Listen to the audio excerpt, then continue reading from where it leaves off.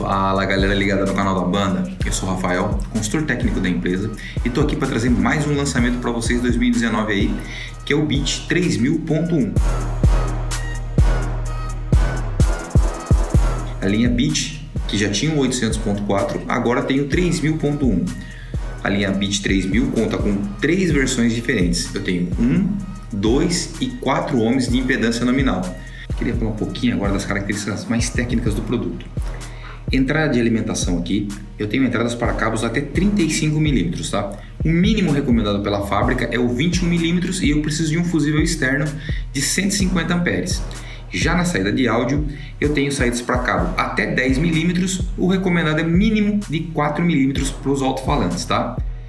Questões agora de controle. Eu tenho aqui ganho, eu tenho o subsônico, que é variável de 20 a 80 Hz, e eu tenho o crossover, que é variável de 20K até 80 Hz, e eu tenho um bass booster que vai de 0 a mais 18 dB em 45 Hz, tá? Todos os nossos cortes de crossover são Link with Riley de 12 dB por oitava. Eu queria também mostrar para vocês um pouquinho, a gente já fez algumas vezes, mas eu queria mostrar para vocês a medição de potência, tá? Eu vou pôr um videozinho rápido aí para vocês verem a medição de potência desse amplificador, marcando aí os 3000 watts RMS a 12,6 volts. Confere aí o teste de potência.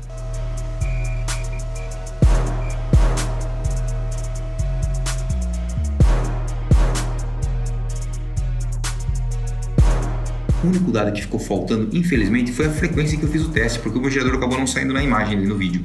Mas eu testei em 60 Hz. O Beat 3000, ele é full range, tá? Ele responde de 20 a 20K. Mas a gente testou ele em 60 Hz, porque realmente esse teste é o mais pesado para o amplificador, tá? Então se ele responde em 60 Hz, em frequências mais altas ele responde até com mais facilidade. Então por isso a gente testa ele realmente na pior condição, tá? Então assim, se você viu o teste, gostou, gostou do produto, tem alguma dúvida, quiser, escreve pra gente aqui no vídeo e a gente vai te responder, tá? Outra coisa, já se inscreveu no nosso canal? Se inscreve. A gente tá com bastante coisa nova para trazer aqui para vocês no canal para 2019, então não fica fora dessa aí, se inscreve no canal e até o próximo vídeo.